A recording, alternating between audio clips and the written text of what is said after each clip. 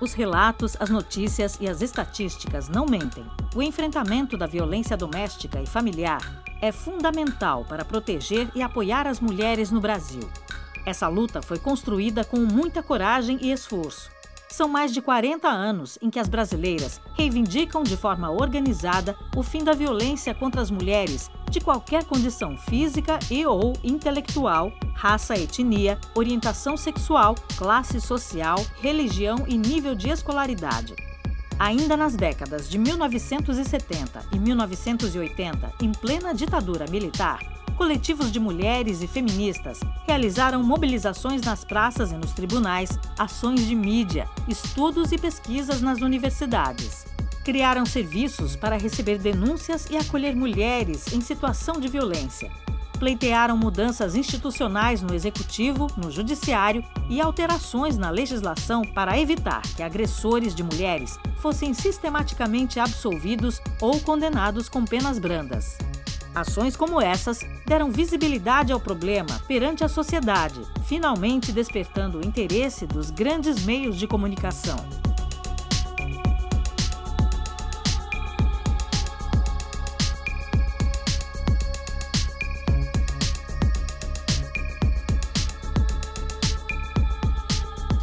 As feministas também influenciaram e reivindicaram do Estado brasileiro a adoção de políticas públicas e instituições de promoção e defesa dos direitos das mulheres, além de garantir importante representação feminina na elaboração da Constituição de 1988. No ano de 1983, todas essas lutas e conquistas se entrelaçaram com a história de vida da farmacêutica bioquímica Maria da Penha Maia Fernandes, em Fortaleza, no estado do Ceará. Foi quando Maria da Penha, à época com 38 anos, sofreu duas tentativas de assassinato por parte do então marido, o economista e professor universitário Marco Antônio Heredia Viveiros. A primeira dessas tentativas deixou Maria da Penha paraplégica. Como muitas brasileiras, durante o tempo em que ficou casada, Maria da Penha sofreu repetidas agressões e intimidações sem reagir, pois temia uma represália ainda maior contra ela e suas três filhas.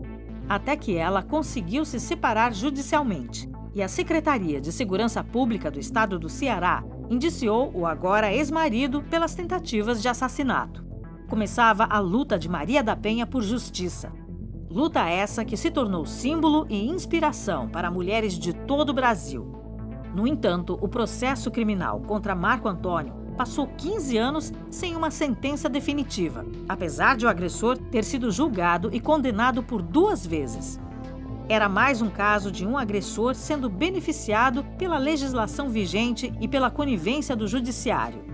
Mesmo diante disso, Maria da Penha não desistiu e fez sua missão de vida a denúncia do descaso com as mulheres vítimas de violência doméstica, além da busca pela finalização do seu processo e a consequente prisão do seu agressor. A história de Maria da Penha espelhava o quanto o Brasil ainda tinha muito que fazer para prevenir, proteger, assistir e reparar a violência cometida contra as mulheres.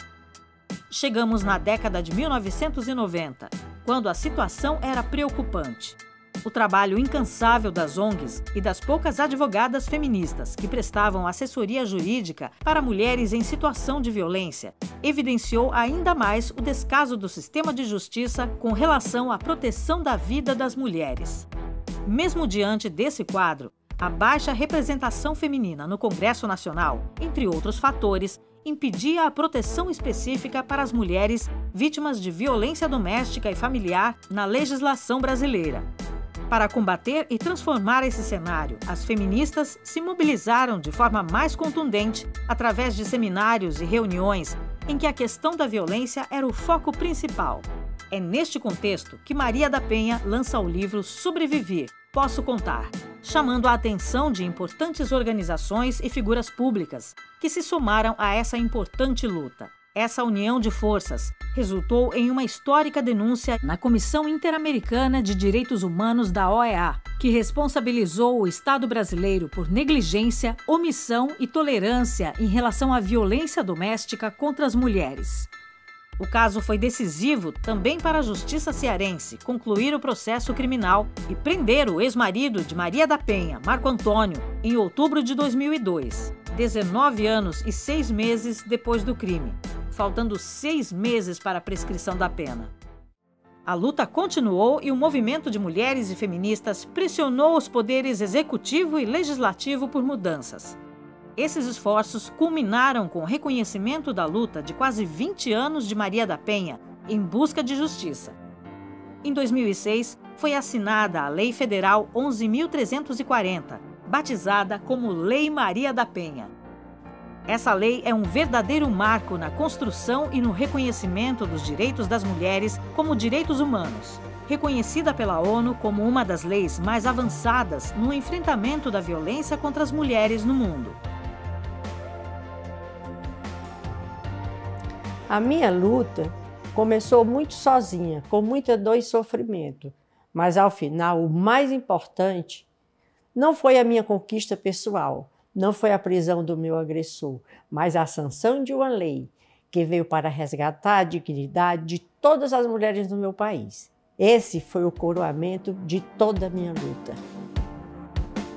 Mas ainda há muitos desafios pela frente. Por Maria da Penha e por todas as mulheres a lei continua sendo construída por todas e todos que estão na luta contra a violência doméstica e familiar.